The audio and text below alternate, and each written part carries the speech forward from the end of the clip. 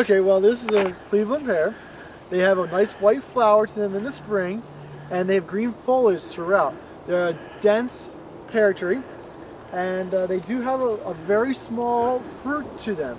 It is not an edible fruit. This is an ornamental tree. So if you get a pear tree that you want to have fruit, you may want to try a different type of pear than this. Uh, usually they're used as street trees, or every now and then they're used in the backyard for just a lot of white color in the spring. They are a denser type of pear tree. Like an aristocrat's a little bit broader, wider tree. This is a little bit narrower of a tree. If you take a look at the branching of it, the branch is more upright.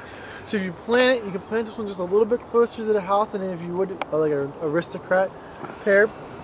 They do get about 30, 35 feet tall, and they do get about 15, 20 feet wide. It all depends on the environment, of course, but that's just a general idea what you can expect them to grow. They are a very nice ornamental plant, and we do have lots of them here. As you can see, there's probably, uh, I would say, 300 or so just left in this block right here. Okay, thank you very much, Mike. And where are we located? We're located in Fountainville, Pennsylvania, which is just outside of Doylestown. Doylestown's about 45 minutes north of Philadelphia. And we ship out of other locations? Yes, we have a couple other locations that we ship out of. And just give us a call and we can tell you what those are. These are our flowering pears flowering. It's at the end of the flowering cycle of the pear and you can just start to see the green foliage coming out.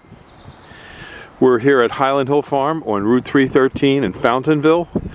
And down in here we have some Heritage River birches with a single stem. Just give us a call at 215-651-8329. Highland Hill Farm, Fountainville, PA.